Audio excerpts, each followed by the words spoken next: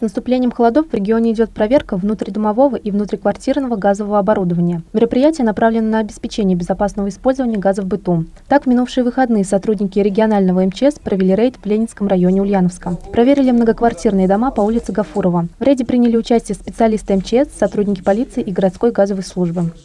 В рамках рейда были проведены беседы с гражданами о необходимости соблюдения правил пожарной безопасности с напоминанием телефонов экстренных служб и вручение памяток с правилами пожарной безопасности. К сожалению, многие жильцы не пускают сотрудников МЧС в квартиры, чтобы осмотреть газовое оборудование, а это, в свою очередь, угрожает безопасности жителей. Лисан Фихрединова, новости Ульяновской правды.